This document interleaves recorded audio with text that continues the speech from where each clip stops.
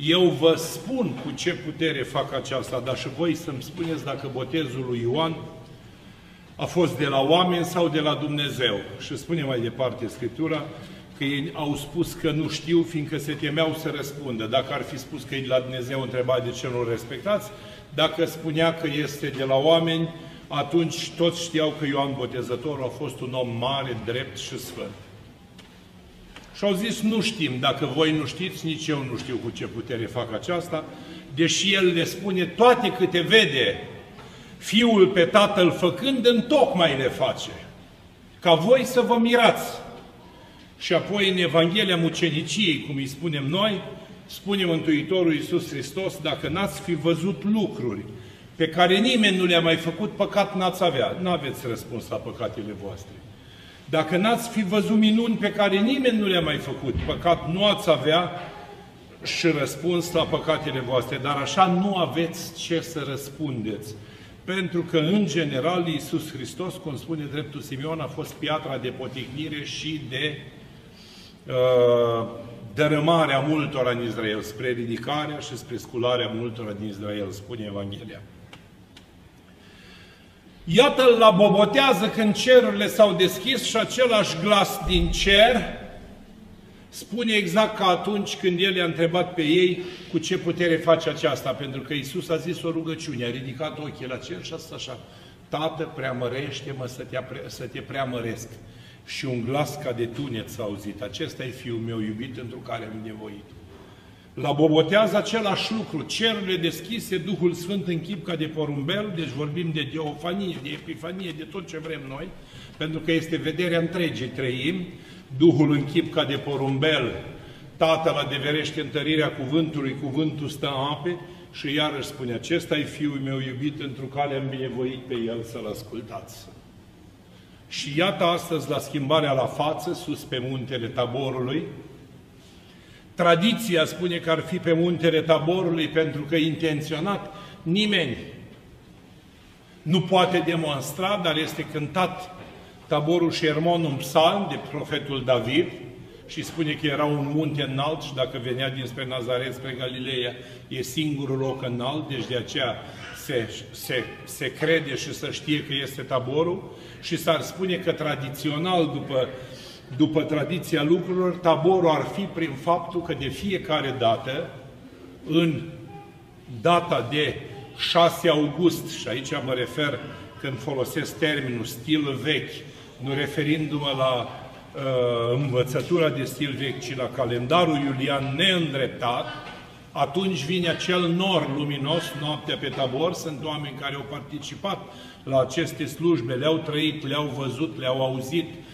s-au bucurat de ele față către față și, într-adevăr, în acea noapte, când se face slujba pe muntele Taborului, vine un nor lăptos, ca o ceață deasă, unde acolo sunt 40-50 de grade, umple toată biserica și tot muntele, aproape că nu vezi să citești sau uh, oamenii se disting între ei prin ceața respectivă, ca semn că minunea taborului este adevărată și că taborul ar fi muntele minunat.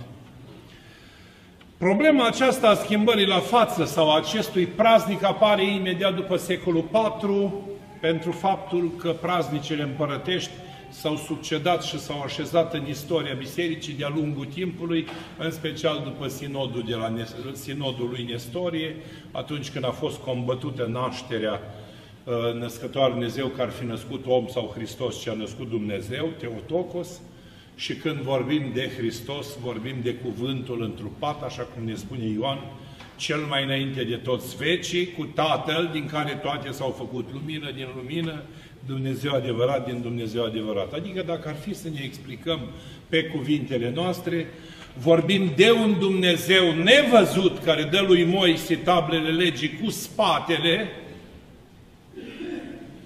și vorbim de un Dumnezeu văzut care dă lumii tablele legii, adică poruncile, fericirile cu fața. Cum spune Mântuitorul Iisus Hristos? Fericiți cei ce nu au văzut și au crezut. Și noi uneori mergem pe ideea că e o chestiune de ateism în care vezi, Doamne, tagma bisericească încearcă să inducă cumva într-o ceață pe credincioși ei și să zică nu trebuie să vedeți, doar trebuie să credeți. E cea mai mare prostie. Deci fericiți cei ce n-au văzut și au crezut, sunt profeții care au așteptat mii de ani venirea lui Hristos, au profețit-o și au murit. Cinci mii de ani au trecut de la izgonirea lui Adam din rai pe pământ și 5508 ani în capăt până ce Iisus s-a născut în Betlemul iudeii din Fecioara Maria. Ei pe parcursul acelor, acestor 5000 de ani, profeții știau că trebuie să vină un izbăvitor, un mântuitor și iată, și iată că de data aceasta, prin Fecioara Maria sub vrem, când vine îngerul la Nazaret, vestește pe Fiul celui prea înalt, puterea celui prea înalte va umbri și cel ce se va naște din tine, Duhul Sfânt va veni peste tine, Fiul lui Dumnezeu se va chema. Deci iată-L pe Fiul lui Dumnezeu în carne și oase. Trup luând ca noi, chip de rob luând ca noi, simțuri luând ca noi, dar nu și afectele păcatului pe care noi le poftim și le dorim, ca așa spune Hristos, dacă mă vedește cineva de păcat, să arunce cu piatră. Mergem mai departe și ne oprim la ceea ce ne interesează.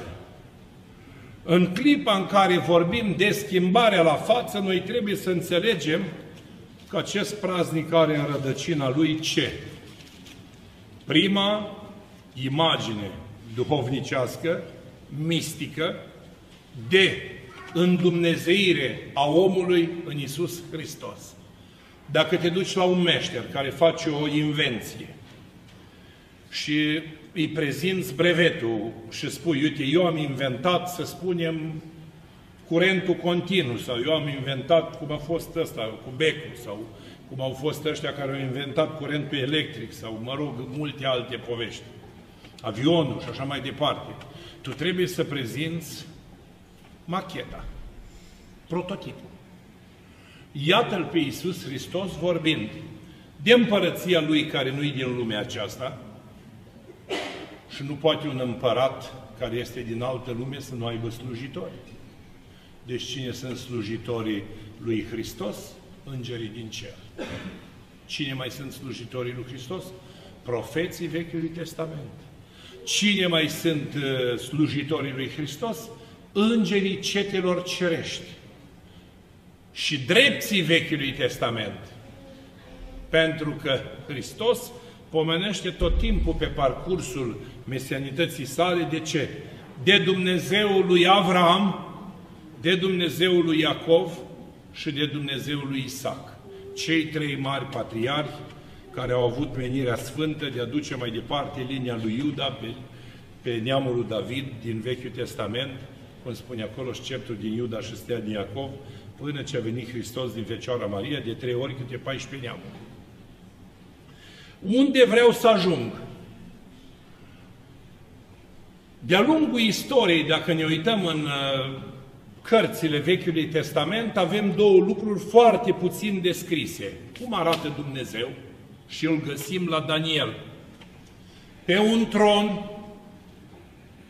cu roți de heruvim și de foc, cu haina albă ca zăpada, cu părul ca lâna, bătrân și vechi de zile. Așa îl vede profetul Daniel.